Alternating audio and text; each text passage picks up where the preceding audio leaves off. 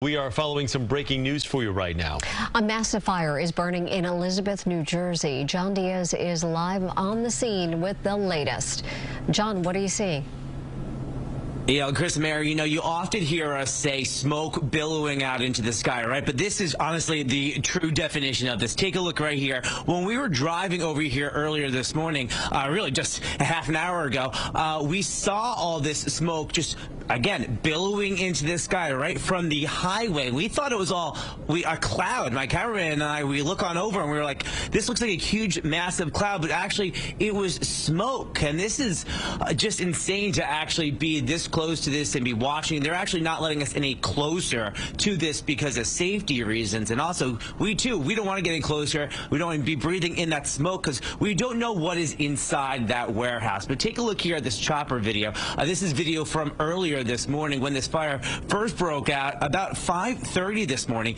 We're actually told that a passerby saw the flames and called it in.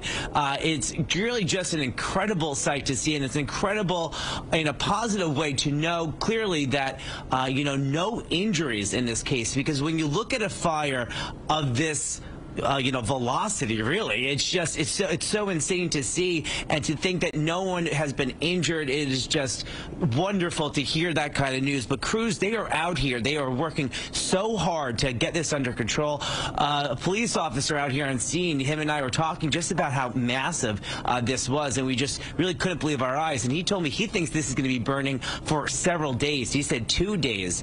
And guys, you know, we've been hearing throughout the morning just how cold it is, and we've been reporting the news throughout the morning. I've been standing out in the cold, so I can only imagine what these firemen and firewomen are dealing with right now with these elements, putting this fire out and it just being so cold. Now, we are told to this factory, um, it is actually used to be the Singer Sewing Factory. Uh, so that is why it sounds like no one uh, was injured in this case because there look likely was no one actually inside the building when it actually caught on fire.